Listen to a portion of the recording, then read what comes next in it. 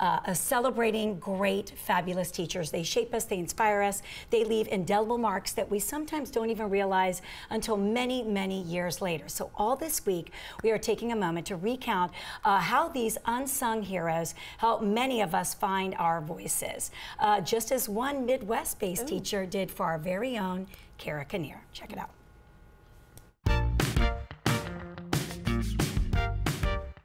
I grew up in a small town, Covington, Indiana, like 3,500 people in my town. There were like 50 people in my class.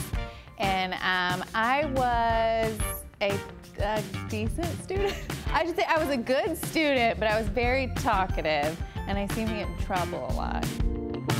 A lot of teachers impacted me for good and bad, but I think that the one that impacted me the most would have to be my fifth grade teacher, Mrs. Everett, because she was the first one that really encouraged me, I felt like, to pursue like my zaniness, because um, I was a very interesting child, and um, she was like, embrace that, do that more. You're a dramatic kid, but keep doing it. And other other teachers, I feel like, were like, please be quiet I'm calling your mother. I can remember always going up to her desk all the time and we would have these conversations and looking back on it, I'm sure the other kids were so annoyed by me always talking to her, but it almost felt like we had a friendship, which is strange because I was in fifth grade. But, um, and I'm sure Mrs. Everett was just humoring me, but she always took time to talk to me. In my yearbook, she said, uh, I wouldn't have made it through a few days if not for your uplifting notes and smiles.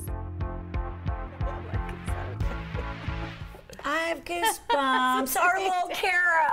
so cute. hot mess. No, you, you, know what's funny? Going through all this, and our fabulous mm -hmm. producers have put these pieces yes. not just for us, all so throughout great. the week. You're going to hear from some of your favorite 11 Alive anchors as well. But I was going down memory lane looking through the boxes, and I was like, I love, you know, Miss Hudson. It turns out Miss Hudson was hard on me because I was a chatterbox too. I was always in trouble right. for talking, so clearly we're in the right profession. we are. I know I was telling Christina, I had to email my best friend or text her from high school and be like, did any of the teachers like me? Of course they did. She was like helping me come up you with kind of just a little, it's like Cara, I know. zip it. Same thing, yeah, yes. me too. Conduct. But we found our place. We did. We sure did. did we? we made a profession out of it. We did. We did. See? All right. I love you. Those are so great. I can't wait to see everyone else. So make sure mm-hmm. you tune in all week long right here on A&C.